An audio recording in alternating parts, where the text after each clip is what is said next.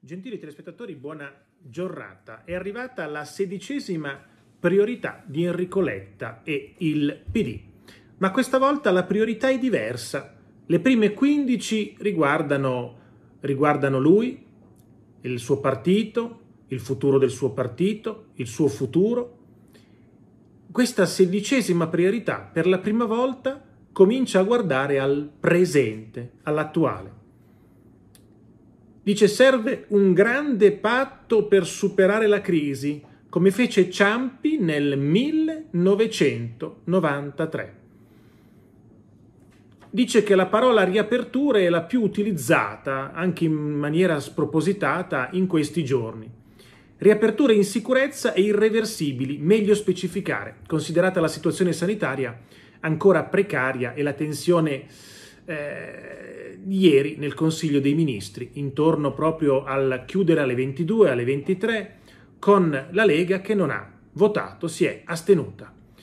Draghi dice non capisco, la Lega con i suoi ministri aveva detto sì, adesso siamo d'accordo e adesso invece oggi la Lega dice no. Attenzione che i ministri, i ministri della Lega, i tre ministri, e devono seguire le direttive del partito che, dire- che sono le direttive di Salvini. Quindi se Salvini la mattina dice votatelo e il pomeriggio dice non votatelo, i tre ministri, se vogliono continuare a lavorare nella Lega e avere un posto in Senato o in Parlamento, devono seguire la linea politica, la linea politica del capo.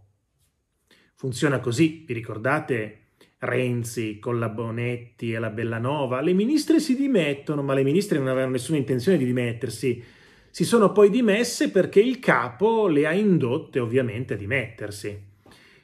Ecco, quindi i ministri devono seguire quello che dice il capo politico. Se il capo politico cambia idea, loro devono cambiare idea, anche se realmente magari non l'hanno cambiata. E così la Lega con i suoi ministri dice di no, dice di no, non votiamo anche se due giorni prima avevano detto di sì ed erano d'accordo per il coprifuoco alle 22. Tuttavia, oltre e in parallelo alle riaperture, è tempo di mettere al centro del dibattito pubblico e delle decisioni della politica anche la parola ricostruzione. Dopo 14 mesi che abbiamo alle spalle, dopo il dolore alle vittime, dopo le perdite economiche e la paura di non farcela, non bastano più sostegni o ristori. Bisogna ricostruire Secondo, secondo Letta. Il decreto imprese, lavoro e professioni che abbiamo chiesto al governo dopo aver incontrato rappresentanti di imprese e lavoratori dice il capo del PD è fondamentale nell'immediato per dare ossigeno alle aziende e partite IVA anche su affitti, bolletti e altri costi fissi. Queste misure sono una precondizione necessaria, dice. Non è però più sufficiente solo aggiustare, tamponare, ristorare. Si tratta ora di cominciare a scrivere, condividere e rendere operativo sui territori un grande patto per la ricostruzione del paese. Vai dal ristoratore o dal barista a dirgli c'è un bel patto per la... Dice ma quale patto? Io sto fallendo, non ho i soldi per l'affitto, ma quale patto?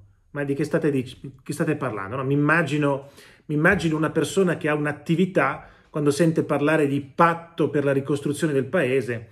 In passato ho avuto anch'io un'attività per nove mesi, poi ho dovuto chiudere perché economicamente non funzionava, sommerso dalle spese, è il commercialista e paga la cassa e paga la, la, luce, il telefono, la spazzatura, i contributi minimi e compra la merce. Era solo pagare, solo pagare. Ogni giorno avevo nella cassetta delle lettere arrivavano paga e paga quello e paga questo e arriva il contributo minimo, la rata, l'anticipo dell'IVA. Una cosa, una...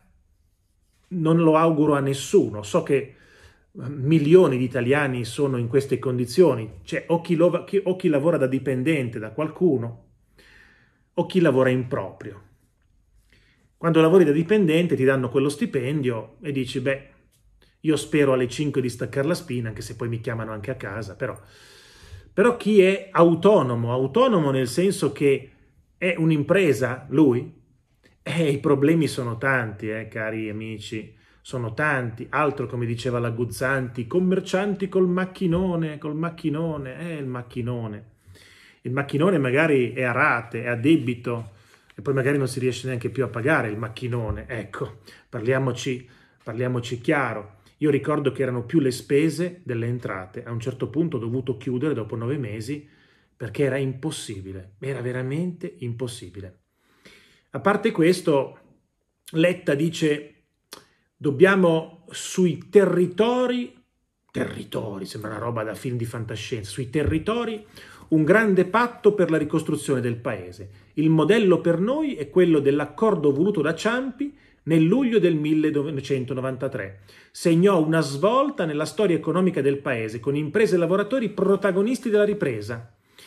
Par- ma lì, lì erano, erano, gli anni 90, gli, nel 93 ancora l'Italia era in fase di toro, come dicono in borsa, in fase in salita, eh, me lo ricordo anch'io nel 93, erano anni di salita economica, gli anni 80 e gli anni 90.